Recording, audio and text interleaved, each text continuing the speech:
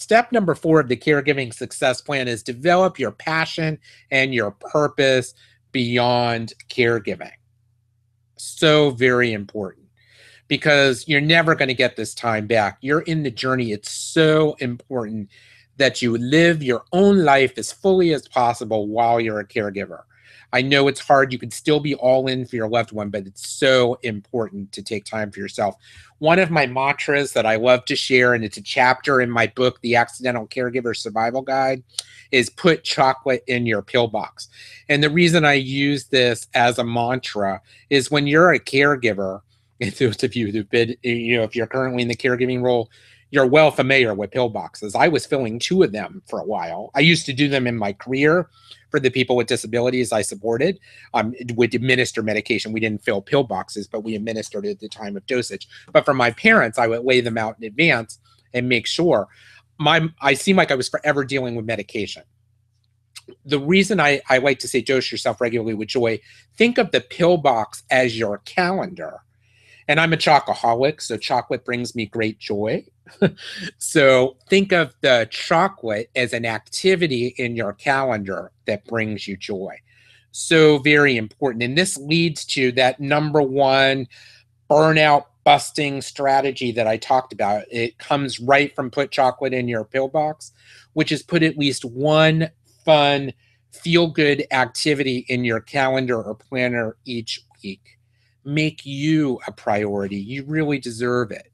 I'm going to come back on camera again. I just, you know, I just want to say it's so important. Our calendars get filled with all those have tos, the medical appointments, um, the, you know, the other appointments and chores we must do. If you have some home health folks coming in, um, you know, you got to mark all those. The calendar gets filled with all of these have tos um, and must. And we, if our calendar week after week, month after month does not have anything that's fun in it, what do we have to look forward to?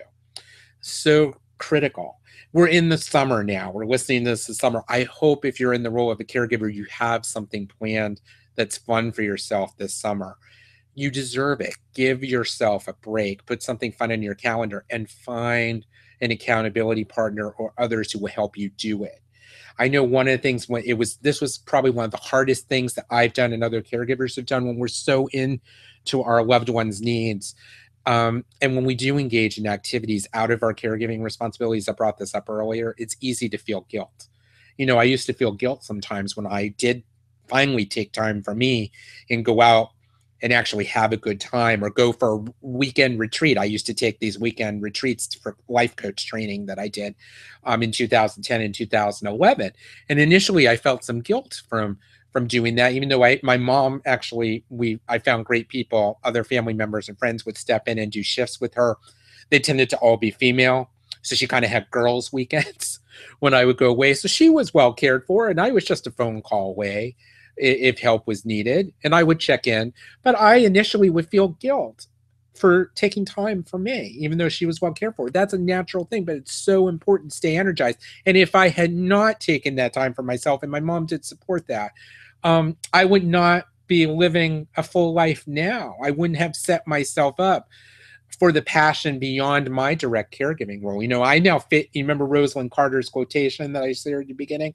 I'm now one of those that has served as a caregiver. I'm no longer currently serving as a caregiver, but I do believe the reason my life is so full is I did things at the end of, you know, in the latter half of my caregiving journey to put me as a higher priority on the agenda. And my clients and others that I have the privilege to work with, I encourage them to do the same and shed the kilt. Practical caregiving resources are waiting for you at caregivingwithoutregret.com.